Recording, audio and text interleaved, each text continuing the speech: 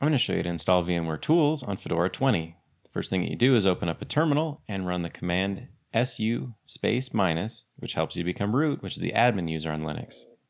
The next step is to install the dependencies. Do that the command with yum install perl gcc and kernel-devel. You might run into this lock, but if you wait a second, it'll go through. You have to select yes to install those packages.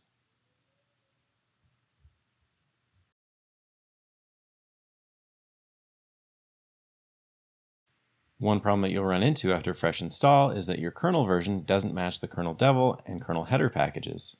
So if you check, we've got 3.11 for the kernel and 3.19 for the packages we just installed, and so we need to update the kernel.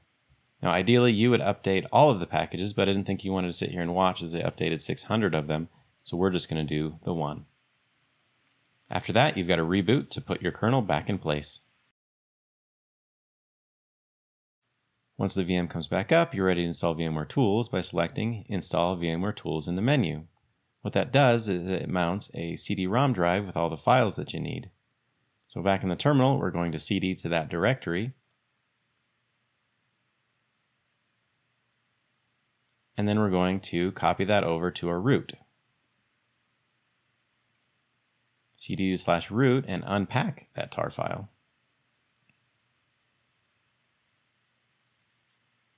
Cd into the VMware Tools folder, and run the Perl script that they give you.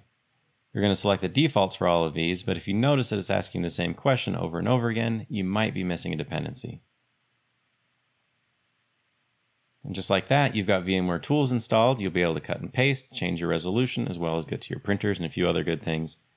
Now, if you ever update your kernel, you need to run that VMware Tools installer again to be able to create the new modules for it.